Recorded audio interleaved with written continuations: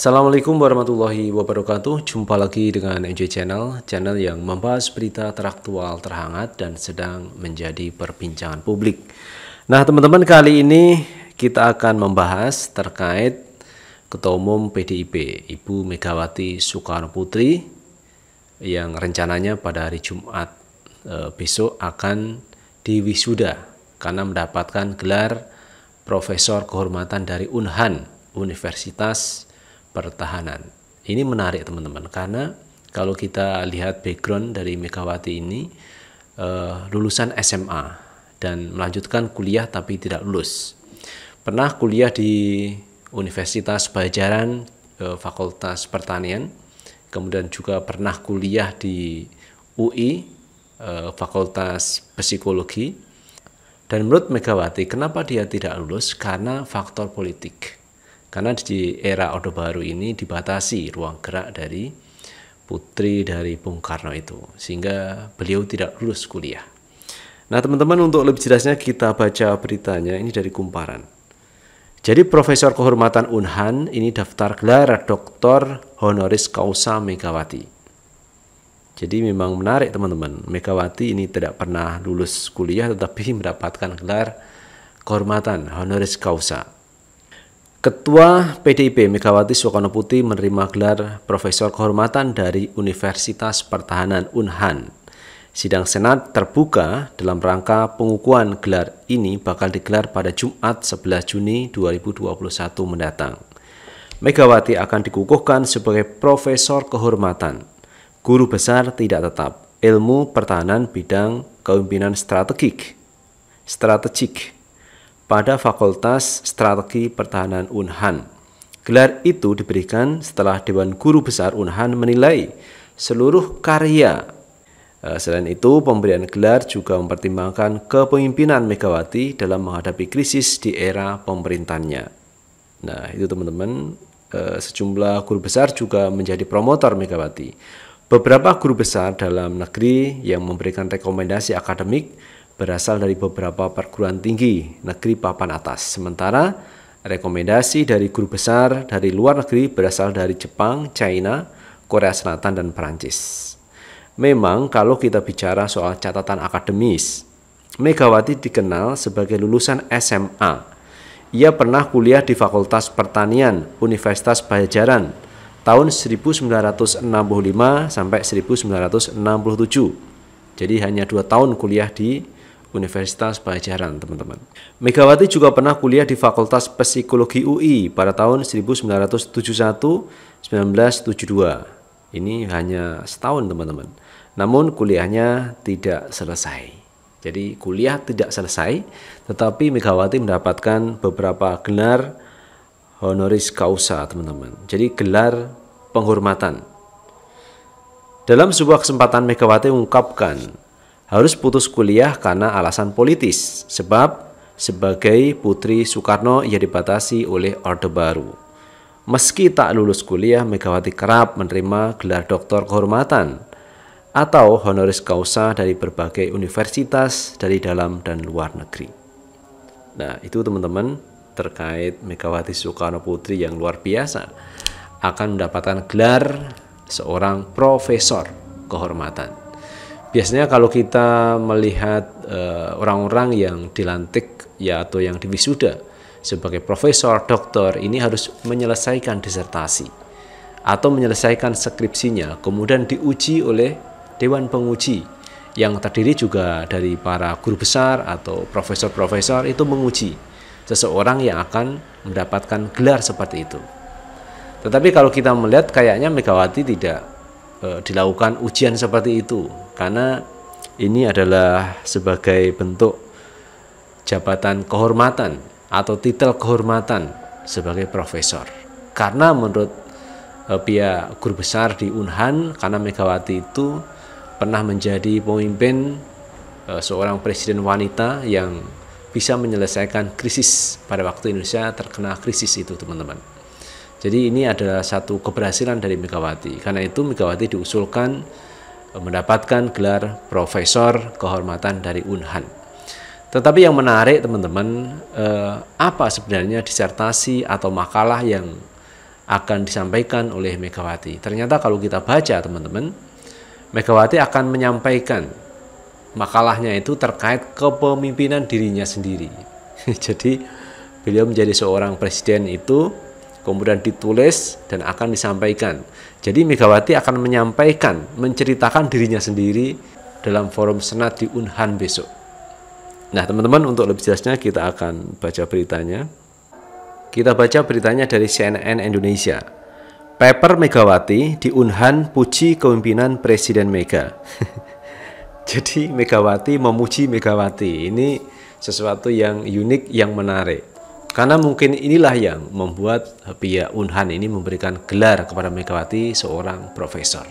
Karena papernya atau makalahnya Megawati ini memuji kepemimpinan Presiden Mega.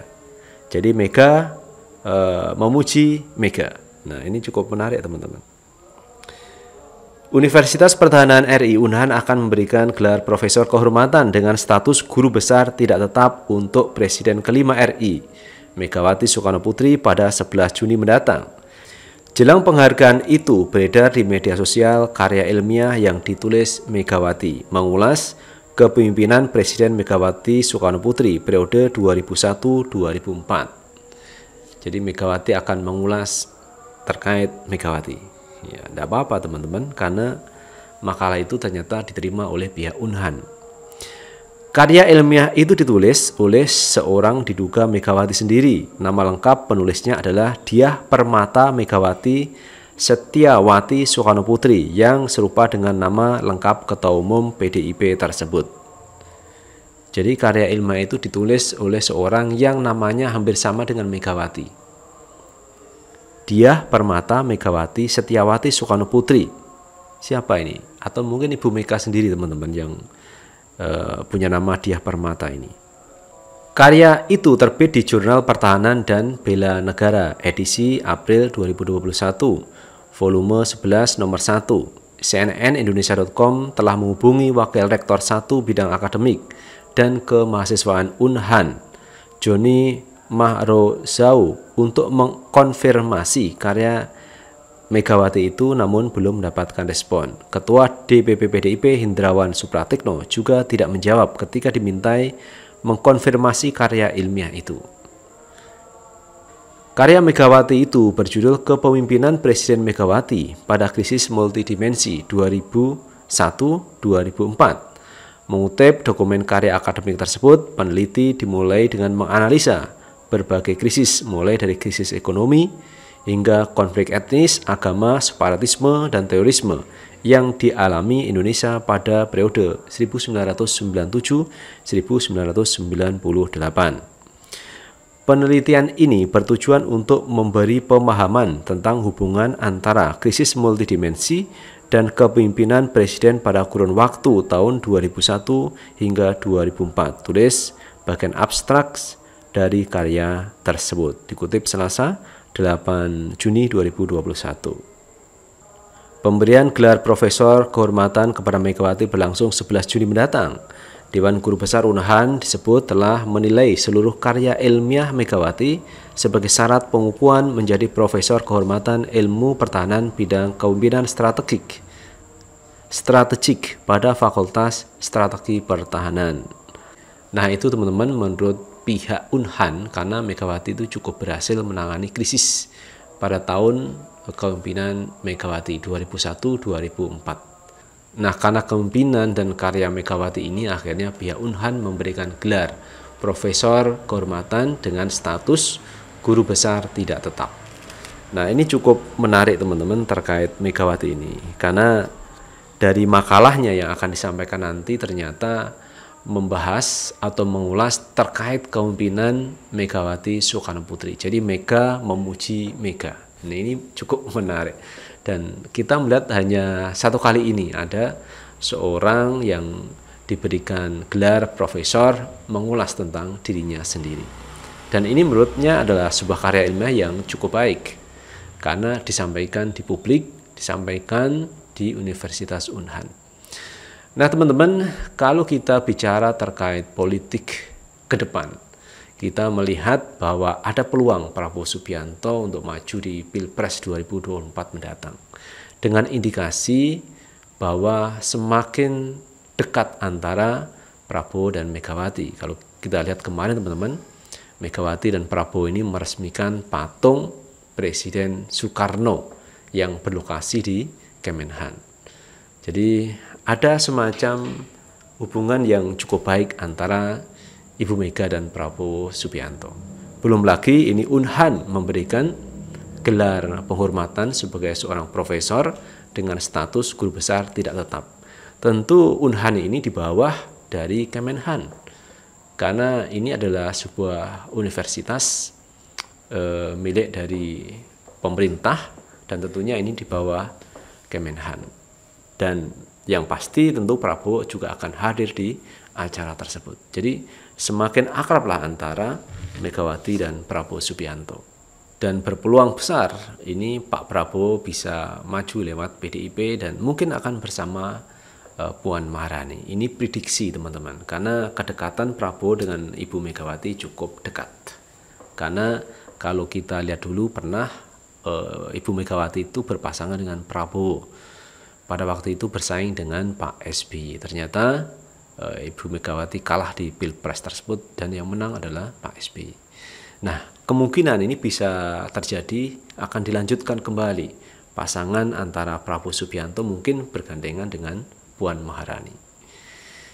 Namun kalau kita melihat survei teman-teman ternyata e, nama Puan Maharani ini berdasarkan survei ini tidak terlalu tinggi suaranya. Elektabilitas kalah jauh kalau dibanding dengan Pak Anies Baswedan, Ganjar Pranowo maupun Pak Prabowo Subianto.